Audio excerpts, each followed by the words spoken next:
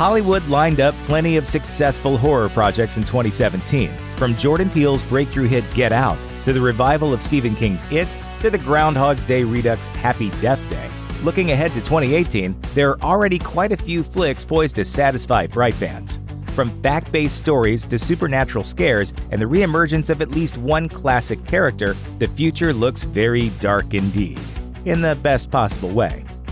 Insidious The Last Key Demonologist Elise Rainier has been a staple of the Insidious series despite meeting her end in the first entry. After appearing as only a spirit in the second film, the character was given the full prequel treatment with Insidious Chapter 3, which focused on one of the case files from her early days and explored how she came to meet partners Specs and Tucker. Now, Insidious The Last Key is expected to return to Elise's story, picking up where Chapter 3 left off. Only this time, she's investigating a haunting of her own family home. From the looks of the film's trailer, it's going to be just as chock full of jump scares as the rest of the series when it hits theaters January 5th. Day of the Dead Bloodline reimagining George Romero is quite a tricky proposition, especially when we're talking about 1985's Day of the Dead, which is one of the more controversial entries in the Night of the Living Dead series for its unprecedented level of violence and gore. Spanish writer-director Hector Hernandez Vicens will attempt to make it work though, with a loose adaptation titled Day of the Dead Bloodline. Vicens made a few waves in 2015 with his controversial but well-received The Corpse of Anna Fritz, but the body should be a little livelier this time around. The new day will drop on January 5th with a simultaneous theatrical and digital HD release. Strangers Prey at Night. The Strangers was a surprise hit in 2008 thanks to its slow burn brutality and subversion of certain plot expectations. Why are you doing this to us? Because you were home. And even though the first sequel was announced shortly after the film's release, it's taken the better part of a decade to make it happen. The new film takes place at a trailer park in the middle of nowhere during a power outage and features Christina Hendricks as the head of a family whose road trip takes an unfortunate turn. Count on this one to creep everyone out when it lands in theaters March 9th. The New Mutants.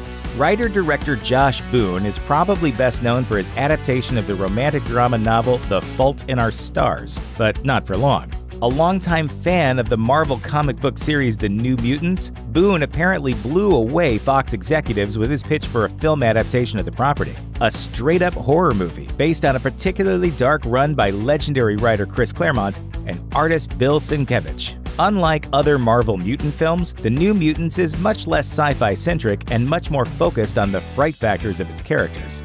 And with a cast that includes Split and the Witch alum Anya Taylor Joy alongside Game of Thrones Maisie Williams and Stranger Things star Charlie Heaton, The New Mutants should be the one to watch when it hits theaters on April 13th.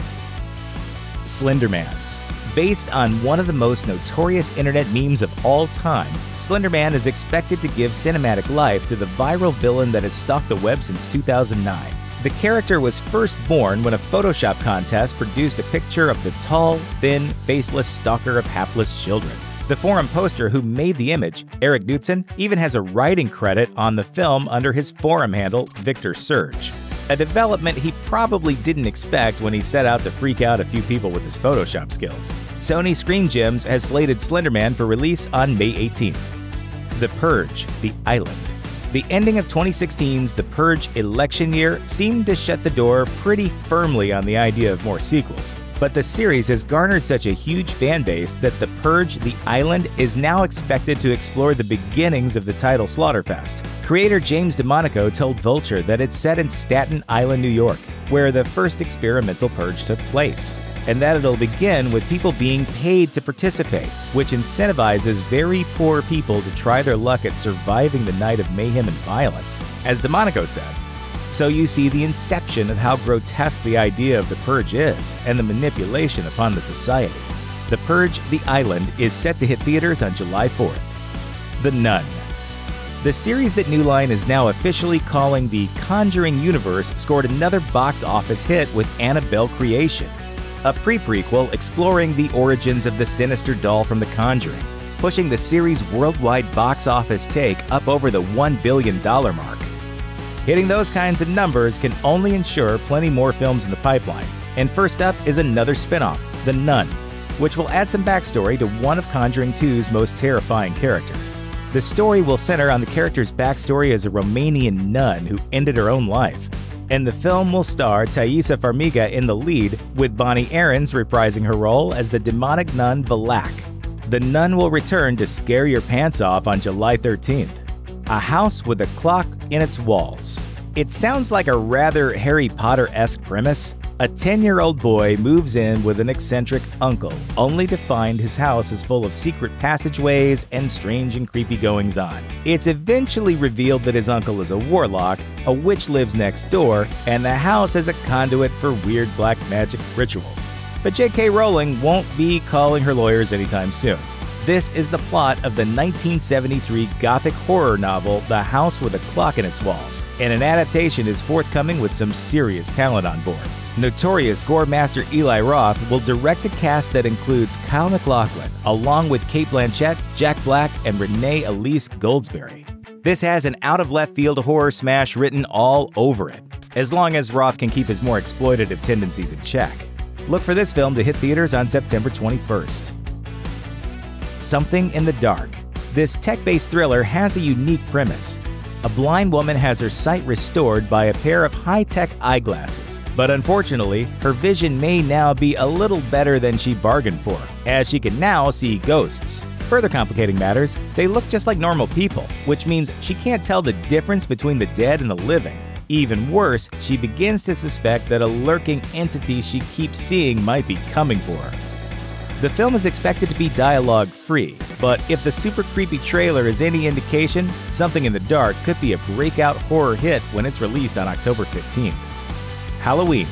The Halloween reboot series by Rob Zombie was so so at best, but with funny man Danny McBride and producer David Gordon Green coming together to work on the concept for the new film, the new version of the holiday favorite might just work. The duo pitched directly to original director co writer John Carpenter, and Carpenter's reaction was enough to get any fan's heart racing. He wrote on Facebook, David and Danny both came to my office recently with Jason Blum and shared their vision for the new movie, and wow, they get it. I think you're gonna dig it. McBride has since explained his vision like so the first Halloween just works on such a gut level of, you know, there's someone who's escaped an asylum and he's in this town. You know, that was what we were wanting to do with this. Rather than being a reboot, it's expected to be more of a sequel to the original film. Miramax will release the film on October 19th, just in time for the scariest night of the year. Nosferatu the Witch is widely considered to be among the scariest films of 2015, a unique and ambitious picture that was the directorial debut of production designer turned director Robert Eggers. The film grossed 10 times its budget, and for his follow up, Eggers isn't scaling back on his ambition. He'll be helming the remake of the seminal 1922 horror classic Nosferatu, an undertaking only attempted once before in 1979 by acclaimed German filmmaker Werner Herzog. Eggers' gift for atmosphere should serve him well on this project, which even he admits is daunting. Briefly tempted to table the remake, he told Collider that he reconsidered. It feels ugly and blasphemous and egomaniacal and disgusting for a filmmaker in my place to do Nosferatu next. I was really planning on waiting a while, but that's how fate shook out. It's safe to say the remake is in very good hands. And if The Witch is any indication, fans might be in for the creepiest vampire flick in years. Deep Blue Sea 2. The 1999 cult classic Deep Blue Sea is a film that has everything. There's giant mutant sharks, a Bible quoting LL Cool J and his parrot sidekick, and a thundering Samuel L. Jackson monologue that ends in the most hilarious and inevitable way possible. We're going to pull together and we're going to find a way to get out of here. First, we're going to seal off this. movie. It's one of the most fun popcorn movies of the 90s, and it even turned a decent profit. But plans for a sequel have repeatedly fallen through, until now.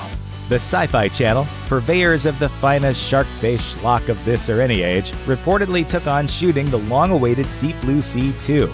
It may not be getting a theatrical release, but sci fi seems like a good home for the project, which will hopefully live up to the fantastically cheesy legacy of its predecessor. Puppet Master The Littlest Reich. Puppet Master didn't seem destined to crank out sequel after sequel when it made its direct to video debut in 1989. but the franchise has proved to have remarkable staying power. Focused on evil puppets animated by an ancient curse and the man who created them, the film has already spawned no fewer than 10 sequels. This year's Puppet Master Axis Termination, the first installment since 2012, debuted in September on Amazon. But the team behind next year's The Littlest Reich have assembled enough talent that fans are crossing their fingers hoping for a theatrical release. The film will star stone-faced veteran actor Udo Kier as the deranged puppet master Toulon, and genre queen Barbara Crampton will also make an appearance. Most of the action is expected to take place at a convention, where killer puppets will run amok. And producers have promised a bloody good time with plenty of practical gore effects when the film arrives sometime next year. Piranha JPN Teeth of the Piranha 1978's Piranha has the distinction of being hands down the best Jaws ripoff in a sea of ripoffs. And it also launched the career of director Joe Dante in much the same way that its less loved sequel gave a boost to future Hollywood titan James Cameron. The modern reboot series, which began with 2010's Piranha 3D, has nobly carried on the tradition of delivering maximum cheese along with copious amounts of gore and bare bodies. So we're pleased to report that the next installment, titled Piranha JPN Teeth of the Piranha, is expected to drop sometime next year. Polaroid. Although unrelated issues with the Weinstein Company and Dimension films have caused delays in the release of Polaroid, a supernatural thriller originally slated for a Thanksgiving 2017 release, the film still looks bonkers enough to survive the executive changes underway at the studio. First time feature director Lars Klevberg adapts from his own short film, telling the story of a teenage loner who discovers an old Polaroid camera in a mysterious store. The budding photo enthusiast soon finds that anybody she takes a picture of is in line for a horrific death at the hands of some malevolent force. While the premise might seem a touch familiar, or specifically like a mashup of The Ring and Final Destination, Klevberg's film won Best Short and Best Cinematography awards at the prestigious Los Angeles Horror Competition, and all signs in the trailer point to a stylishly shot and creepy flick. Thanks for watching. Click the looper icon to subscribe to our YouTube channel, plus check out all this cool stuff we know you'll love too.